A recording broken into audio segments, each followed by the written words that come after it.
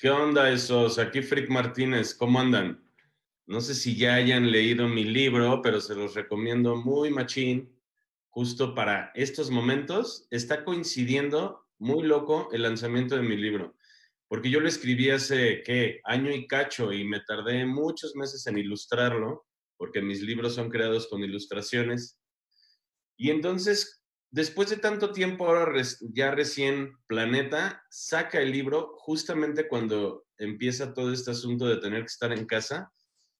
Así que pareció como si yo lo hubiera hecho para esto, porque justamente de lo que yo hablo es de cómo poder trabajar desde casa, cómo ser un freelancer, cómo hacer billete de tus creaciones, cómo hacer dinero de compartir tu conocimiento, o de simplemente darle servicio de tus talentos a gente que lo necesita. El libro se llama Conviértete en un freelancer chingón, que es mi segundo libro con Planeta. El primero es el de Startupismo o Crea un negocio fregón en 20 pasos. Básicamente yo me dedico a ayudar a la gente a que se dedique a lo que realmente le apasiona. Y por eso hago libros, Hago ebooks, audiolibros, cursos en línea, conferencias, muchísimas, talleres, diplomados, contenido en redes sociales, webinar, podcast, todo, todos los formatos posibles con los que yo pueda transmitir mi información que le ayuden a la gente a inspirarse, a motivarse, a poder ir por todo, aguantar la vara de cuando está difícil la cosa, también tengo un libro que se llama Buenondismo, que es sobre espiritualidad, sobre qué hacer con la mente para no volverte loco en lo que eres emprendedor o freelancer, que ustedes saben que es muy difícil, pero es eh, verdaderamente eh, feliz el poder trabajar en lo que realmente te gusta y hace la diferencia. Yo tengo la, eh, el dicho de que el mundo sería increíblemente mejor si todos se dedicaran a lo que realmente les apasiona. Entonces, pues a eso me dedico yo. Me apasiona dedicarme a hacer que la gente se dedique a lo que les apasiona. Y entonces, con este libro nuevo, siento que estoy ayudando mucho a, pues, a la gente que me siga, a la gente que me conoce, a quienes encuentren el libro por allí. Es, es un libro lleno de tips, sobre cómo convertirte en freelancer y si ya eres freelancer, pues cómo continuar para que generes más varo con menor esfuerzo y sobre todo también para los que crean que el libro pueda estar un poquito para novatos, etcétera, Nel tiene unas, eh, unos apartados muy interesantes sobre cómo mejorar tu vida del día a día como freelancer, pero también qué es lo que debe de, de hacer un freelancer Em, para el futuro. ¿Cómo te puedes preparar, por ejemplo, con esta llegada de tanto robot, tantas cosas que están automatizadas, tantas cosas que están tan, tan baratas como, por ejemplo, de que tú eres un diseñador y de pronto ves páginas web en donde dicen, puedes conseguir aquí tu logotipo en 10 dólares o en uno o en 3 centavos. Y entonces los freelancers se sacan de onda y quieren cambiar eso en el mundo, quieren hacer que la gente regrese a que valoren su trabajo y que paguen caro. Nunca va a suceder, ya se fue toda la basura. Ahora los robots son los que ganan. Entonces este libro también te ayuda para saber cómo poder proteger tu talento, tu chamba, etcétera, con, con los robotcitos y con la forma en la que esté evolucionando el mundo. Ahí pongo consejos como, en lugar de querer ser este, que los clientes te vuelvan a, compartir este, su trabajo y de una forma cara, em, pues en, lugar de eso tienes que poderte poner por encima de la adversidad y tú mismo en el libro puse o convertirte en robot o hacerte mm, semi-robotizado o por lo menos tienes que robotizar un poquito tus procesos tienes que automatizar para que estés preparado cuando las cosas se pongan más jodidas. Hay una pregunta aquí de Mónica Rodríguez que dice, em, ¿cómo conseguir nuevos clientes como freelancer? En el libro lo que puse es que tienes que salir del closet. Como freelancer, como emprendedor, como lo que sea. Pero tienes que hacer que todo el mundo sepa que existes. Necesitas estar mostrando constantemente tu chamba y para eso tienes que ser parte del mundo en donde todo mundo existe, que es el mundo virtual. Y no puedes esperar que porque en algún momento te daban chamba de boca en boca y ahorita puedes tener 30 y estar feliz de, no, mam, yo ya la armé porque me dan chamba y luego cuando termine esa chamba llega otro y me da otra chamba porque supo que le hice la chamba al primero. No, yo no necesito publicidad. Ajá, cuando tengas 70 años, todas las chambas se las van a estar dando a un güey de 30 como los, los 30 que tienes tú ahorita. Así que, ¿qué es lo que tienes que empezar a hacer para que tú tengas chamba y que te alcance para tus medicinas cuando tengas 75 años? Tienes que salir del closet, tienes que mostrar lo que haces, tienes que estar fuera en la vida en donde la gente se entera de ti y nunca vas a em, exagerar en qué tanta promoción haces de tu marca personal. Yo soy muy clavado, de hecho el libro que estoy haciendo ahorita, porque estoy haciendo diplomados sobre, en donde solo escojo a 10 personas y son diplomados virtuales de un mes en donde te ayudo a que trabajes tu marca personal para que difundas tus servicios y todo eso. Y con base en lo que me van preguntando mis estudiantes, etcétera, yo voy sacando las distintas herramientas y justamente pues ahorita estoy viendo cómo la gente me pregunta mil cosas y les voy respondiendo y mi libro va cambiando de acuerdo a eso.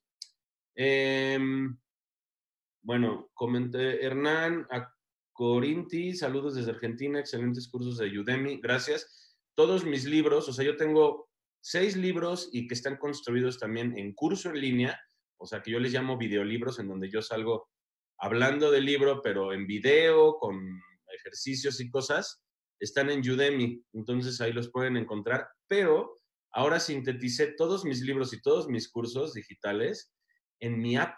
Tengo una app que se llama la Freak App, en donde te encuentras todos mis cursos y mis libros, eh, ebooks, etcétera, eh, por un año pagas una sola lanita, pero además, aunque no pagaras, la neta, terminas recibiendo un mensaje diario en las mañanas acá, motivador, chingón.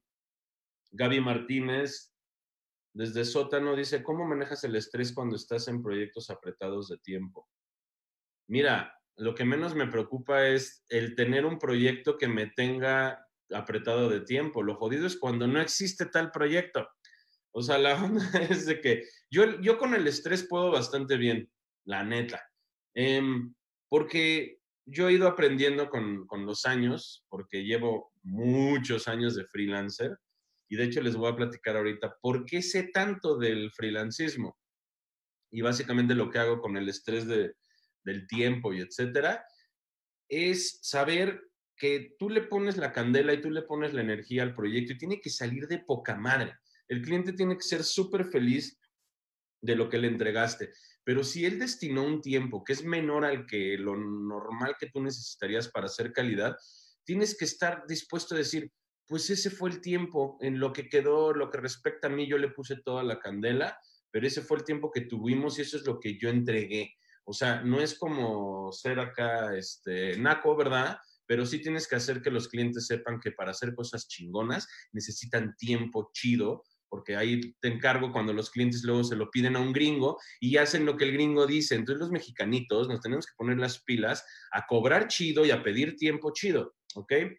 Em, Mauricio Martínez, ¿cuántos Martínez somos? Y eso que yo ni siquiera me apellido así realmente. ¿Cómo saber cuánto cobrar por tus productos o servicios al ser freelancer? Miren, yo puse un tabulador muy poco profesional en el libro en donde habla de que agarras y haces una suma, por ejemplo, piénsenlo así. ¿Cuánto necesito al mes para vivir? No, pues pago, ponle tú, vamos a ponernos ahí a un nivel medio junior. Pago 7 mil de renta y necesito 3 mil de comida y la gasolina o la madre, ¿no? los servicios. Necesitas 15 mil pesos, vamos a decir. Entonces tú agarras y si necesitas 15 mil pesos para un mes, agarras esos 15, le subes el 20% de X nomás. Ahora, esa suma que te dio, divídela entre 20, que son los 20 días laborales del mes. Ese número es lo que tú tienes que cobrar por día. Ahora, si ese dinero tú lo divides entre 8 por las 8 horas laborales, te va a salir una lana. ¿Qué quiere decir esto?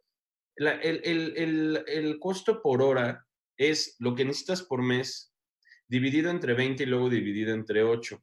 Si tienen dudas, compren el fucking libro. Pero aquí la onda es que tú cuando ya sabes cuánto es lo mínimo que debes de cobrar por hora para que tú, de estar gastando tu energía una hora y de pronto pase un mes, entonces sepas que cada hora que invertiste, cobraste lo equivalente para esa hora, ¿ok?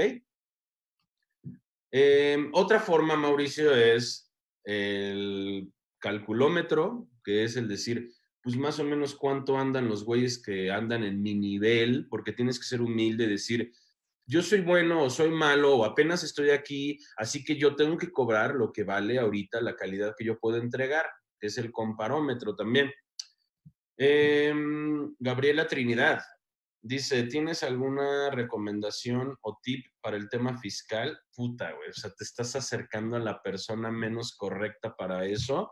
Soy un desmadre, por eso tengo a mi socia, que es Susana, que ella me ayuda con todo lo relacionado a las lanas y también tengo a mi contadora. Y bueno, así que gracias a Dios no me entero de esos temas. Pero lo que sí puse en el libro es que tienes que guardar el 20% de todo lo que entra para cuando te metas en broncas y también que tienes que tener pagaditos tus impuestos. Ten a un contador y diles la neta. Dile, a ver, güey, yo en el libro lo puse así. Al contador que contratas, uno, tienes que hacer un buen research de qué contador tener, alguien que le sepa tu industria, no un güey que, o sea, no contrates a tu primo, porque luego tu primo te va a mandar a la, mierda o luego ya no se dedica a eso, ahora se fue a poner un carrito de hot dogs a Tabasco. Entonces la onda es que sepas que hay un contador que sepa lo que de la industria y que va a seguir dedicándose a eso. Lo tienes que investigar y lo tienes que analizar y preguntarle mil cosas para saber si tiene la paciencia de poder atender la cuestión de los impuestos y las lanas de un freelancer desordenado, por decir, entonces ya si ves que el güey tiene la paciencia y todo, te vas con él, pero siempre que tú hagas los pagos y no él, para que no te vayan a llevar al baile, ¿verdad? Em, José Manuel, eh, hola Frid, ¿cuál es el truco para cambiar la mentalidad de una persona ordinaria a una persona emprendedora? Ay, ay, ay. El, mira, ya te vas a morir.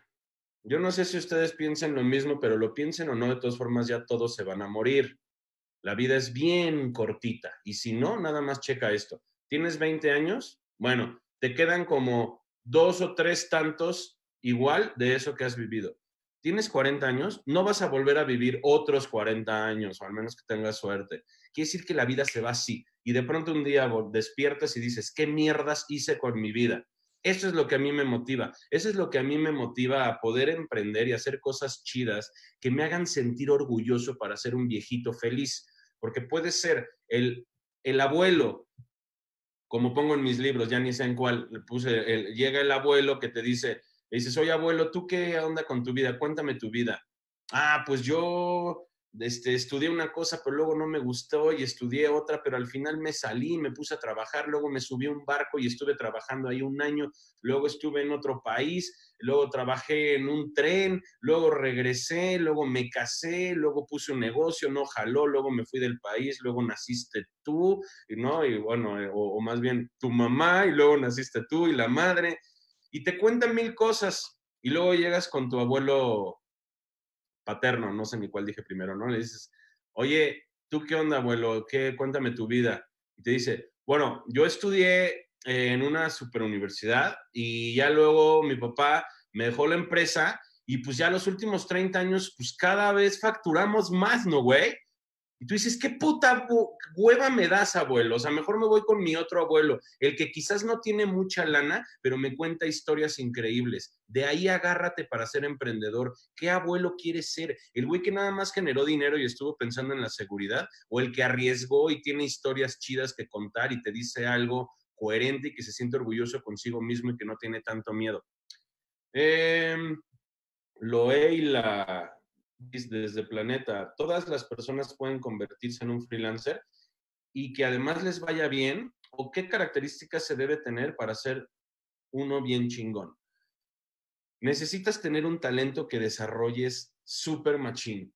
O sea, necesitas tener ganas de querer hacer algo que valga la pena con tu vida. Y no cualquiera puede, excepto que de pronto ya estés en esa situación. Por ejemplo, si tú aprendes mucho en una empresa sobre algo y de pronto esa empresa, esa empresa chafea y tú te quedas sin chamba y no hay ninguna empresa que hacía eso que tú podías hacer allí, automáticamente eres freelancer, ¿no? Tienes que ofrecer tus servicios. Eso es cuando de pronto la vida te llevó a que seas freelancer sin que tú lo desearas. yo no me imagino tener, yo llevo 20 años sin tener un empleo y les voy a contar por qué sé tanto de freelancers. Porque yo era socio fundador de un estudio de animación muy reconocido llamado Orgánica. Entonces, cuando la gente me pedía chamba, em, yo los ponía en un grupo de Facebook, le decía, no, pues ahorita no cabes, güey, no queríamos tener más de 30 empleados creativos, además, que es un desmadre. Y entonces ahí los tenía, y en ese grupo de Facebook yo iba poniendo a los que querían chambear y fue creciendo, creciendo, creciendo. Y yo les he ido dando las herramientas para que para ellos sea cada vez más fácil. Y ahora son 50 mil creativos mexicanos y es la, mi comunidad es la más grande del país de creativos y de freelancers. Entonces he aprendido muchísimo en los 11 años que llevo gestionando esa comunidad, más el tiempo que yo llevo 20 años sin tener un empleo. Entonces sí puedo ver cómo no cualquiera puede ser freelancer, no por las cuestiones de tu talento, de tu conocimiento, de la energía que le pones, todo eso, sino tu mente. ¿En qué tanto estás dispuesto a estar viviendo la adversidad de que de pronto no tengas chamba, de que de pronto el proyecto se cae, de que cotices cosas súper gigantes con lo que podrías vivir un año y que no se arme? O que de pronto se arme un proyecto súper choncho y que no te des abasto. Y la mente es lo que tienes que controlar. Así que hay que evaluar si eres alguien que puede aventarse al vacío y estar con la adversidad propia de la carencia y de la incertidumbre, esos son los valores que más necesitas. Em, Laura Rojas, desde Planeta, hablando de las medicinas a los 70 años, ah, ya. ¿Qué planos recomiendas a los freelancers? Ahorro, aporte voluntario a la FORE, seguro de retiro. Yo la neta no pienso en eso, porque de todas formas me voy a morir. Si me si quiero algo que para qué llevarme cuando esté viejito son las experiencias en mi cabecita y en mi corazón y los vínculos emocionales que tuve en mi vida. Ahora, yo lo que puse en mi libro es, no tienes retiro, no tienes afore, no tienes pensión, no tienes aguinaldo, no tienes sueldo, no tienes prima vacacional y no sé qué tanta madre que ni conozco porque nunca fui realmente mucho tiempo empleado. Bueno, pero tienes chamba, tienes servicios que ofrecer, tienes algo que crecer que eres tú como chingón freelancer. Lo que tienes que hacer es asegurarte cada vez que digas, ah, yo no tengo un seguro de gastos médicos como el que tiene mi prima que es Godín. Ah, ok, ¿y qué vas a hacer? ¿Te vas a poner a ver Netflix? ¿O te vas a poner a chingarle para generar mucho más dinero que lo que jamás podría generar tu prima? Nunca ningún Godínez se hace millonario. No hay Godín millonario, hay uno que otro, obvio, pero los que hacen varo son los que cambian su talento por billete más allá del que corresponde a lo que tú hagas en ocho horas diarias en un lugar. Si tú puedes gestionar equipos, etcétera, tú vas a crecer tanto como tus talentos y tu energía. Entonces, ¿tienes miedo a cómo se va a poner la cosa de las medicinas a los 70? Ponte a chambear bien machín. Haz cosas, no te pongas a echar la hueva. Si no eres Godín, quiere decir que tienes que chambear más allá que un Godín, pero las, obviamente las satisfacciones son gigantes. Jorge Cabrera desde el sótano dice, ¿cómo construimos equipos de trabajo sólidos? Mira, cuando tú, yo lo que digo es que en la vida eres empleado, bueno, vamos a decir infante, estudiante, empleado, empleado otra vez, empleado otra vez, muchas veces empleado para que agarres la onda de cómo funciona la industria o los diferentes tipos de jefe, etcétera. Y después de eso, empiezas a freelancear mientras tienes tu empleo.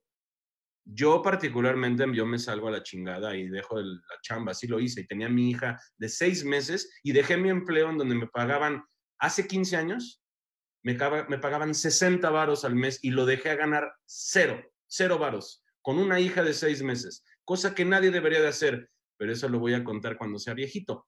Bueno, y ya tiene muchísimas, digamos, em, todas las mieles que trajo el yo haberme arriesgado así. Entonces, cuando hay gente que tú, er, cuando eres, digamos, freelancer, mientras tienes un empleo, puedes cagarla, porque bueno, tengo mi empleo. Ahora, si después de eso ah, te haces freelancer ya al 100%, pues es porque ya generaste la confianza de que puedes chambearle y tu talento y entregas y vendes y todas esas cosas. Pero hay un punto muy chistoso, cuando de pronto tu cliente te pide una chamba y, es más de lo que tú puedes hacer, subcontratas em, a alguien, ¿no? A algún otro freelancer. Y después quizás ya cuando termina se va ese güey a su casa y luego viene otro proyecto y vuelves a contratar a un freelancer y luego contratas a unos freelancers. Cuando tu cliente sabe que tú contratas gente, ya no eres un freelancer, ya eres un microempresario. Ellos ya saben que tú gestionas, que tú lideras, que todo lo que tenga tu sello va a estar bien cuidado porque eres bien pinche obsesivo con la chamba. Entonces, después de eso ya puedes ser empresario, que es cuando ya tus empleados cuando tus freelancers ya no son em, eh, eh, freelancers, sino empleados con nómina, etcétera, y tú ya no te dedicas a hacer la chamba, sino que gestionas el estudio o tu changarro, tu compañía y la madre. Entonces, ¿cómo construir equipos de trabajo sólidos? Número uno, estando dispuesto a que tú vas a lavar los baños. O sea, tú tienes que estar dispuesto a estar abajo, porque así es como inspiras a los demás. El chiste es que la gente quiera ser como tú. A ti un cliente te da una chamba y de pronto eh, publicas algo así como, por ejemplo, en, mi comunidad, en freakmartinez.org, puedes poner, necesito un fotógrafo, necesito un maquillista, necesito lo que sea. Y entonces ese alguien llega y te conoce y como ve que tú jalas chamba de algún cliente choncho y que eres muy chido como para que ellos te sigan dando chamba, ellos dicen, no mames, yo quiero ser como tú, quiero aprender de ti. Y entonces tú les enseñas haciendo las cosas chido y entonces ellos empiezan, quieren ser parte de tu equipo. Entonces ni siquiera hiciste tú el equipo, sino tú te clavaste a hacer las cosas bien y ellos quieren ser como tú. Entonces resulta que de pronto tienes a, a un equipo liderado por ti en donde les exiges bien machín porque tú les estás pagando pero además les demuestras que cuando ellos huevonean, tú te sientas y lo haces, y para ellos eso es una humillación. Entonces hay una forma muy chida de liderar equipos que es con el hecho de la inspiración y con que ellos quieran ser como tú. Digo, que estoy intentando dar respuestas cortas. Giovanna Rosalía Celorio Nava, cámara, desde la página de Freak. Ah, eres mi seguidora. ¿Crees que tu libro ayude a alguien que quiera trabajar de freelancers pero sin dejar su trabajo godín? Yes, justamente para eso es. El libro no nada más es como el libro para freelancers, ni cómo, cómo mandar toda la mierda y ser freelancer. No, es también cómo empezar en, la vida freelancer aunque seas godín. De hecho, te lo recomiendo muchísimo, el poder ir teniendo esa doble vida. Arturo Vargas desde Planeta dice, ¿De dónde obtenemos confianza como freelanceros? Pues de que necesitas comer, ¿no? Entonces para comer necesitas dinero y para tener dinero necesitas hacer una chamba y para tener una chamba necesitas pues ofrecerle a la gente ya sea tu tiempo como empleado o tu tiempo en el que les das un servicio o, o un producto. Entonces necesitas generar confianza habiéndola cagado lo suficientes veces. Yo cuando digo que cuando tú tienes un empleo, realmente es bueno tener un empleo al principio, porque luego doy conferencias en universidades y me dicen, yo ya quiero emprender. Le digo, ok, güey, está chido, podrías hacerlo, pero te recomiendo primero tener un empleo y luego otro empleo. Y así la cagas con clientes ajenos, porque no son tus clientes, sino los clientes de tu jefe, y entonces la vas cagando y así vas aprendiendo. Pero ya después y lo puedes hacer muy bien porque al rato tú vas a tener empleados que la caguen con tus clientes, así que todo se paga en esta vida. La idea es que tú, cuando ya estés, la confianza se genera cuando la has cagado las suficientes veces como para ya saber cómo no cagarla. Y que eres alguien tan obsesivo que trabajas en las noches y los fines de semana para entregarle al cliente calidad. Cuando tienes eso, se genera en ti una confianza de que sabes que, güey, mira, quizás no lo sé todo, pero soy tan clavado, soy tan perfeccionista, em, soy tan obsesivo de hacer las cosas chido y que mi cliente esté tan feliz que el conocimiento ya pasa a otro plano. Es más importante eso. Yo cuando contrato gente, por ejemplo, para mis empresas, siempre me fío más en el corazón de la gente, en su determinación, en su compromiso, que en todo el conocimiento. Llegan conmigo, en serio, ¿eh?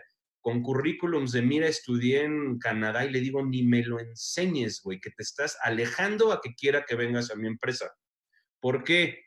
Porque el papelito no te da nada, lo que te da ni siquiera es el conocimiento, sino tu actitud del día a día de cómo ser mejor.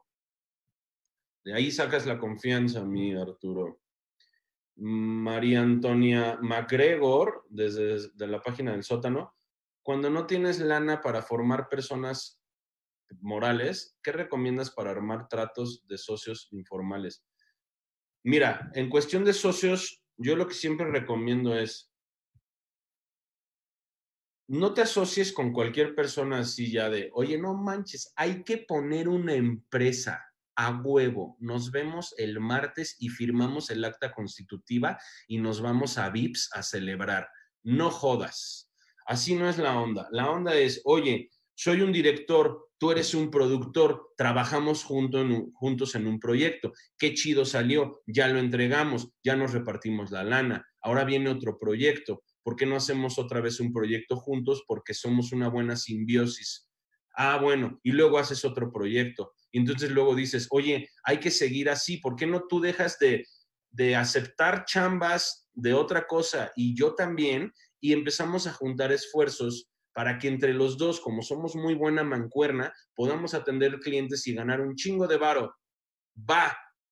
Oye, pero ¿cuándo firmamos el acta, el acta constitu? ¿Qué, güey? ¿Para qué? Vamos a hacer proyectos, vamos a relacionarnos laboralmente tú en tu área y yo en la mía, y no vamos a firmar nada. Lo que vamos a hacer es crear la fama de que somos súper chingones como mancuerna. Y entonces quizás en algún momento esas, esas dos personas puede tener un empleado que será como un hijito, que ya después, cuando tienes otro empleado y empieza a crecer, hay un momento donde dices, oye, güey, tú y yo somos freelancers, llevamos cinco años, diez años trabajando juntos porque somos buena mancuerna. ¿Cómo ves si constituimos una empresa? ¿Para qué? Para pedir un fondo del gobierno, para sacar una tarjeta de crédito y que no te metan al tambo, por si quieres agarrar un socio inversionista o algo y que quede bien estipulado todo. Ah, bueno, ahí sí ya haces una sociedad, pero esos güeyes que hay que hacer ya, güey, hay que poner una empresa. ¿Qué es eso de poner una empresa? Las empresas no existen, existen los proyectos y los clientes contentos, punto. Eh, Saraí Robles dice, ebook, audiolibro o libro en papel en tus lecturas, ¿cuál prefieres? O sea, yo para leer, yo nunca leo. yo no, yo no leo, pero cuando leo lo hago en papel. Me cagan los ebooks, pero yo hago ebooks, pero por algo los hago ilustrados. Porque si yo consumiera un ebook, tendría que tener dibujitos y ser muy, este, como digamos, muy sinóptico y explicarme las cosas sin tanto choro. Por eso no me gusta leer, porque, o sea, quieren hablar de, no sé, es como cuando llegas a un blog, ¿no? De que buscas en Google, por decir, em, cómo, eh, no sé, cómo borrar una tarjeta de, de una cámara, pero que no se deja, ¿no? Y entonces tú lo que quieres es, número uno, agarra la tarjeta y formateala así. Número dos, haz no sé qué, pero te metes al artículo y dice, a todos nos ha pasado que alguna vez tenemos una tarjeta. ¿Qué me estás diciendo, güey? Dime el paso uno y dime el paso dos. Entonces yo soy tan prisa en consumir la información que no me puedo poner a leer un libro que me hable de, bueno, todo empezó cuando yo a los siete años, ay, güey, métete tu libro. O sea, yo dame la herramienta. Entonces mis ebooks son directamente herramientas. Les voy a, les voy a platicar rápidamente cómo, cuáles son mis ebooks. Uno, chingale, bueno, no, ese también está en físico. Les voy a decir cuáles son mis libros, independientemente de que si están en ebook, en libro físico o en curso en línea. Casi todos están en los tres, pero es chingale, que es qué hacer antes, durante y después de la universidad. Son consejos para universitarios de que se pongan a hacer algo con su puta vida. Después el siguiente es godinismo. Es cómo conseguir un empleo y cómo poder mantenerlo y mejorar tu situación laboral y ser feliz. ¿Ok? El tercero se llama freelancismo, que es del que estamos hablando hoy, que ya salió en físico y que ya lo pueden pedir en sótano, em, por a domicilio, obviamente.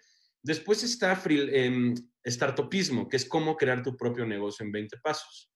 Después, buenondismo, de qué hacer con tu mente mientras haces todo lo anterior y no volverte loco. Después está marketismo, de cómo hacer, es un tutorial en video de cómo hacer redes sociales y campañas de marketing digital. Y em, ahora estoy haciendo uno que se llama brandismo, que es sobre branding personal, que es una herramienta que necesitan mucho los freelancers. Entonces, bueno, yo cuando consumo es en papel, pero lo que yo genero mucho es en todos los formatos, pero muy sinóptico para que la gente entienda. Tienen que ver mis libros para que vean cómo me voy duro y a la cabeza y sin nada de esas, esa paja de que, de que era lluvioso, era martes, y yo de pronto me dije, ¿qué es esto de ser freelancer? Y entonces me empecé a cuestionar. No, güey, dame la carnita. Ahora, José Guillermo García desde Planeta dice, ¿cuál es el truco para siempre mantenerte actualizado? Ay, papá, pues sí, ya, o sea, tú lo sabes, tú, tú sabes cómo se hace, o sea, simplemente es no, eh, ¿cómo se dice? No dormirte en tus laureles, o sea, acostarte a decir, ay, yo ya tengo chamba, así que estoy bien, ¿para qué me actualizo? Tú ya sabes cómo actualizarte, güey. Pon en Google dónde está la nueva herramienta, qué es lo nuevo que sacó el InDesign, qué es lo nuevo que trae la cámara fotográfica de no sé qué pedo, dónde están los cursos en línea del 2020. O sea, si no te actualizas, vas a ser de esos ruquitos que no tienen un varo y que nada más cuentan. Yo una vez tuve una empresa o yo era el fotógrafo oficial de no mames, abuelos, no tienes, no, no existe nada chido de construir algo que le puedas dar a la humanidad. Sombra anarquista, wow, desde, ah, desde mi página, dice, ¿cómo hacer un plan de negocios? ¿Y qué debo tomar en cuenta para hacerlo? O sea, no sé si supongas lo que te voy a responder. Plan de negocios, ni siquiera sé qué es eso.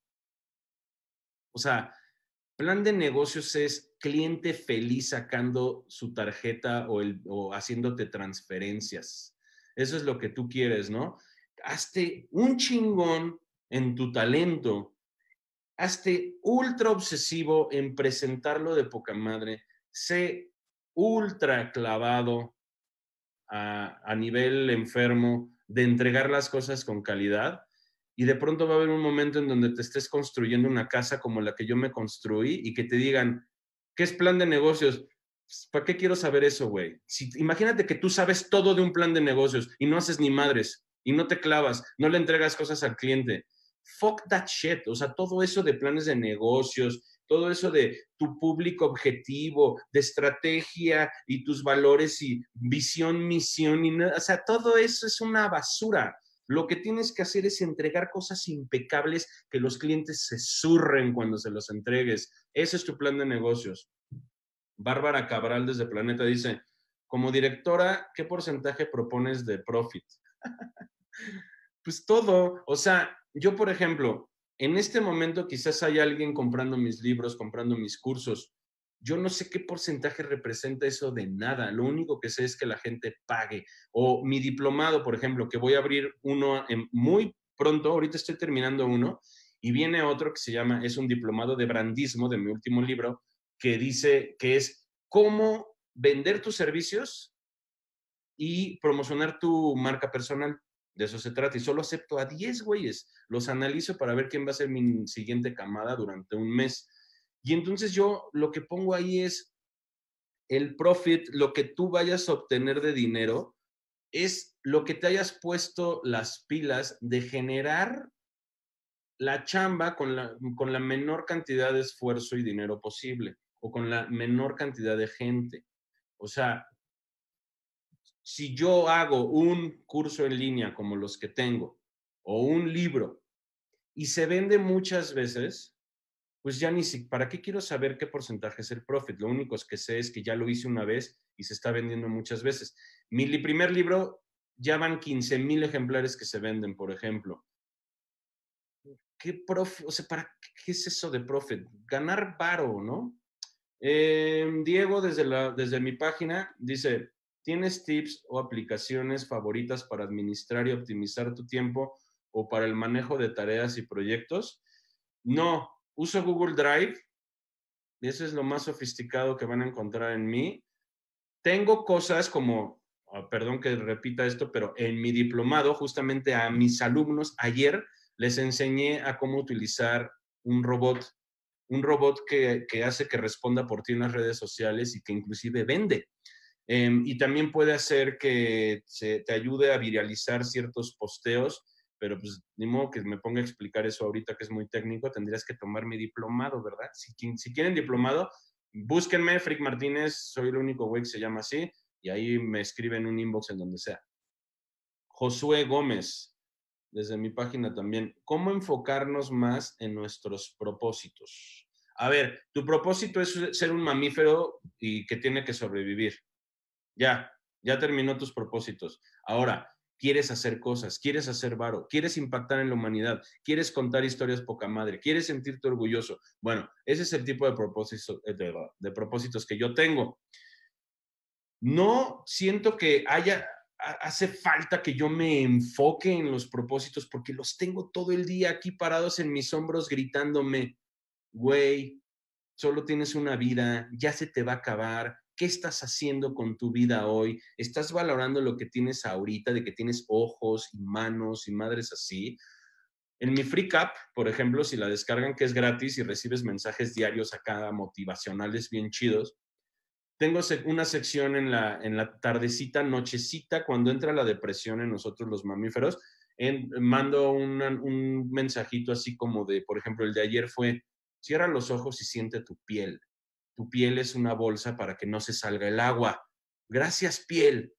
Con que un día valores lo que vas teniendo todo el tiempo, por más dado por hecho que lo tuvieras, como, no mames, abro la llave y sale agua dulce y además caliente y luego no lo valoramos, ¿me entiendes? Entonces, tu propósito es sobrevivir. Ahora que todo lo adicional que puedas hacer a sobrevivir y comer y todo eso, va a estar poca madre.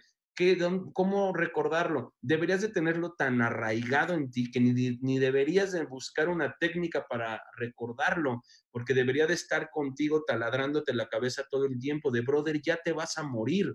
¿Qué vas a hacer con tu vida? ¿Qué estás haciendo hoy? ¿Nada más estás viendo Netflix? ¡Qué hueva! Haz algo chido, arriesgate, métete en pedos.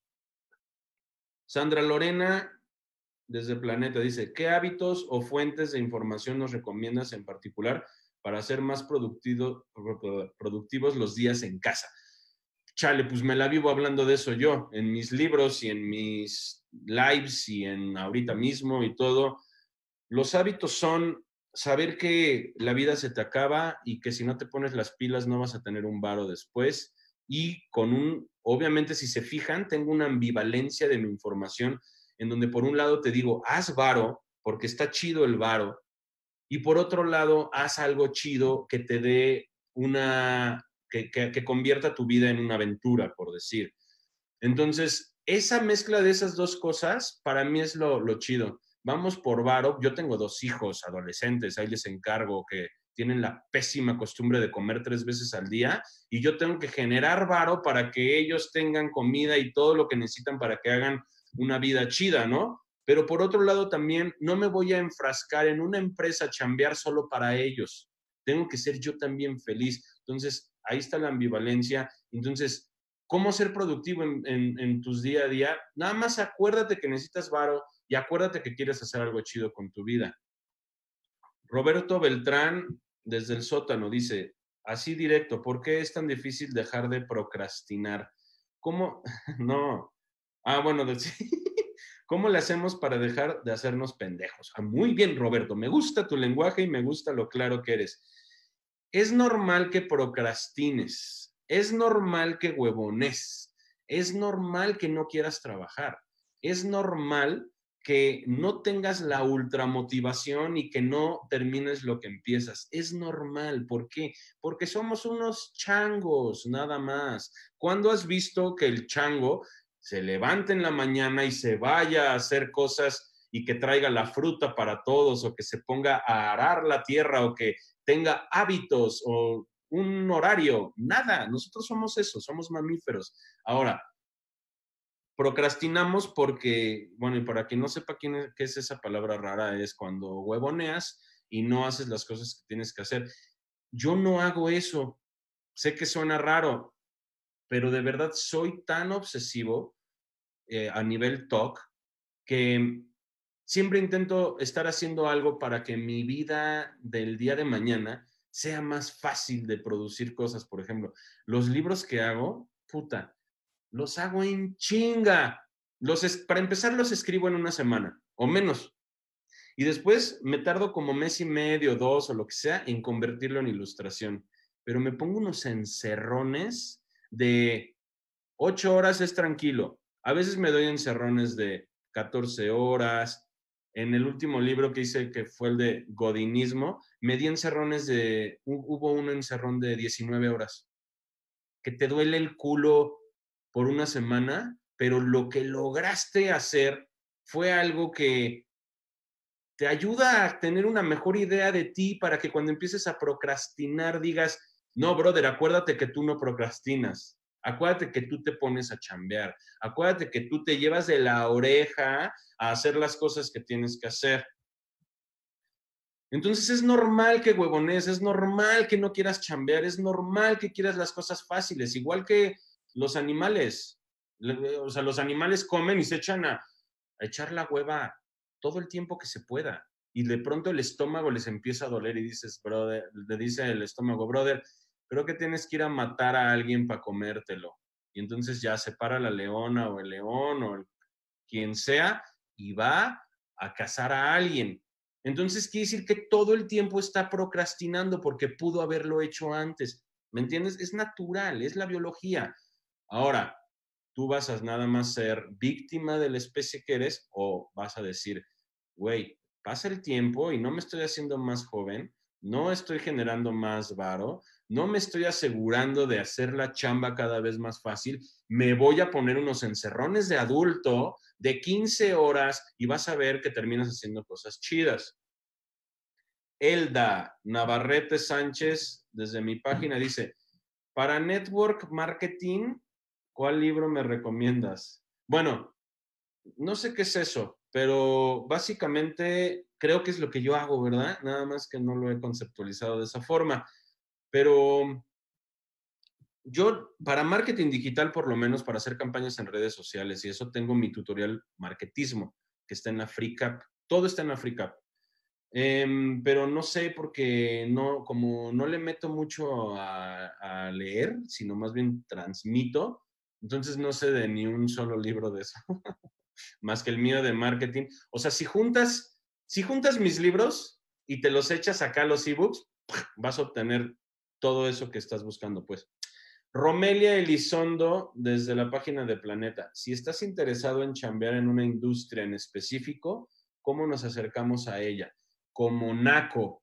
Te tienes que acercar como NACO. O sea, te tienes que atrever a hacer lo que sea yo quiero trabajar en esa empresa, me vale madres y lo voy a lograr. Les voy a mandar mi currículum. Ah, no, ahora les voy a mandar un video. No, voy a llamar por teléfono y voy a pedir una cita con la persona. Ah, tampoco, me voy a esperar allá afuera hasta que, a, que, a que esté yendo a su comida corrida la directora de recursos humanos y le voy a enseñar un impreso que hice en donde le voy a decir cuánto quiero trabajar en así, los tienes que naquear, te tienes que atrever a todo, ir por lo que quieres y te juro que lo logras. O sea, luego no sabemos, la gente no valora o no, no sabe a qué nivel una persona motivada es valorada en una empresa.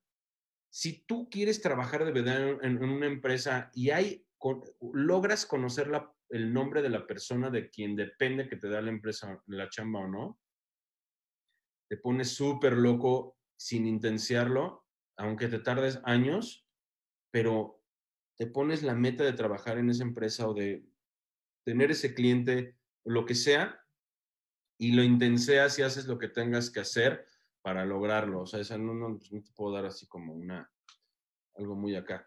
Últimas dos preguntillas. Noé, jefe de, la página, de mi página, ¿qué te lleva al éxito? ¿Motivación o disciplina? Yo, no sé, motivación. O sea, ¿disciplina cuál? Yo, por ejemplo, te voy a decir cuál es mi disciplina. No tengo disciplina. Hago lo que quiera todo el tiempo. Me despierto, llevo 20 años sin usar un despertador. Solo me despierto temprano cuando voy a dar una conferencia a algún país y que ahí sale un avión temprano. Pero si no, yo me despierto a la hora que mis ojitos dicen, ay, mira, ya despertaste un nuevo día. Bueno, allí. Entonces, la disciplina, igual alguien podría decir, güey, pero si tú te das encerrones de 18 horas en hacer tus libros y andas en chinga siempre haciendo y produciendo, eso es una disciplina. La neta, no. Más bien eso es una motivación. ¿Qué me motiva? Hacer algo de verdad con mi vida, haber dejado un legado chido, que mi paso en esta e, e, existencia o en este planeta no sea nada más como lo que siempre digo, que solo eres un mamífero, que te despreocupes. No me conformo con eso. Esa es la base. Sé un mamífero en un planeta y aliviánate y ya de todas formas ya te vas a morir. Ok, si eso ya lo logras, entonces lo que sigue es perfecto, ya pasaste el paso uno. Ahora el paso dos es hacer algo que te sientas orgulloso, hacer varo, ayudarle a la banda, todo lo que tú hayas aprendido, hay quienes lo quisieran aprender y tú eres quien se los puede enseñar. Entonces, cuando toda la disciplina no te lleva a tener, digamos, esas ganas de ayudar a la humanidad, lo que sí te ayuda es la motivación. Entonces, yo diría que hay que buscar motivación, que debe de ser el hambre y el, y el hacer algo por los demás y bla, bla, bla. Karim Zabaleta de mi página dice, ¿qué recomiendas para poder cambiar el método de pago hacia los freelancers? ¿Cómo cobrar y que no sean pagos a 90 días? I'm so sorry. Yo escucho eso desde hace, ¿qué? ¿20 años? Todos quejándose de que ya no es como antes, antes los clientes daban anticipo, antes te pagaban a tiempo, ahora es un desmadre. O sea, no me voy a poner así como la gente que dice, nos tenemos que unir los freelancers y tenemos que hacer acá un sindicato y no vamos a permitir que y al, día siguiente el güey más clavado le ofrecen una chamba bien chida y le dicen, pero te pago 90 días. Le dice, sí, sí, sí, si quieres me voy bajando los pantalones ahorita. Que no se hagan güeyes. Más bien es tú tener ética de qué aceptar y qué no. A ver, si tú eres muy adicto a comprarte tus pinches zapatitos en Amazon y andar con un vasito de Starbucks, que se me hace la peor putería del mundo, estar con satisfactores tan, tan pequeños y tan banales como tu ropita y joyas y que el carrito y que el aire acondicionado y todas esas estupideces nuevas, banales, eso es lo que hace que entonces no puedas aguantar vara de hacer proyectos que de verdad te apasionen.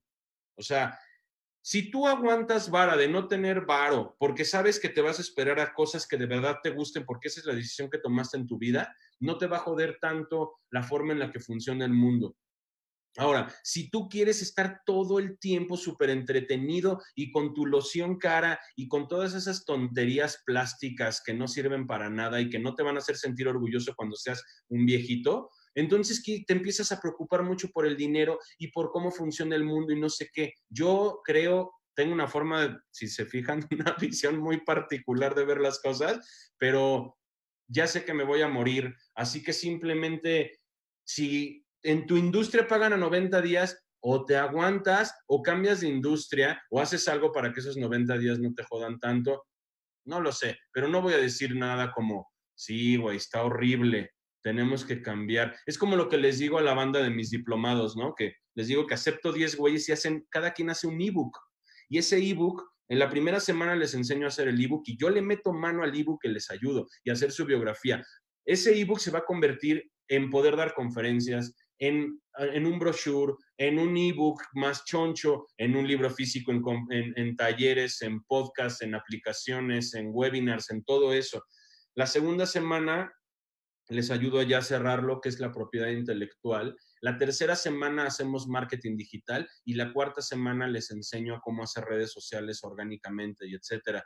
Y entonces, cuando les hablo a mis estudiantes sobre esto de los libros, les digo, güey, no hagas nada extenso, no le pongas tanto texto, porque la gente ya no lee y no nos podemos quejar de que, ay, estas nuevas generaciones ya no leen. Es como la gente que se queja de los millennials. No, no, no saben cómo me pudre que la gente se queje de los millennials. Brother, los millennials van a ser los que van a estar vivos y tú vas a estar muerto. Entonces, ¿de qué te quejas? Ellos son los nuevos. Y si luego los centennials y los no sé qué, nadie debería de quejarse de nada porque es verdad lo que está pasando. Nada más si no vas a ser un ruco ahí gritando pendejadas de, es que antes pagaban a 15 días, ahora 90, y los jóvenes no leen y se la viven en su teléfono.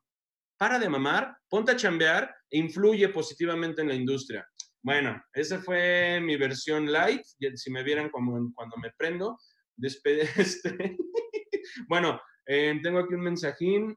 Los libros, por ejemplo, del libro que estamos hablando es del freelancismo, ¿no? Que es conviértete en un freelancer chingón.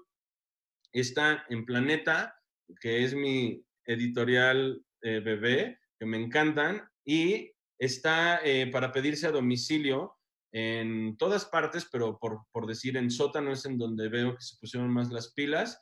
Este, y mis recomendaciones serían, todo esto nos está cambiando, gente ahora todos en casita, es la mayor em, representación de cómo el mundo se está yendo a lo digital y los que se quejan de que el mundo es muy digital y que antes ya no es como antes, ya van a comer maruchan para siempre y los que van a comer sushi son los que se pongan las pilas en lo digital y en sacar su talento y difundirlo por todas partes. Les recomiendo bien machín el libro de freelancismo y ahorita que estoy en mi diplomado también les recomiendo mucho mi diplomado para que sean uno de los 10 este, seleccionados. Cuesta 20 mil varos, pero ahorita lo estoy dando en 10 por la contingencia y mi apoyo, ¿no?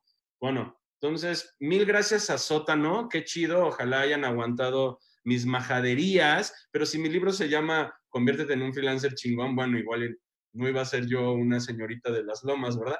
Entonces, mil gracias también a Planeta, a Diego, a Mario y a todos los que me apoyan, este, a Tamara de, de Planeta y a Karina, que son dos personas súper chidas que hacen que saque lo mejor de mí en mis libros. Y bueno, pues sean muy felices, porque acuérdense que esto va a durar muy poquito llamado vida. Disfruten y viva vivir vivo. No sé si ya terminó. ¿Ya?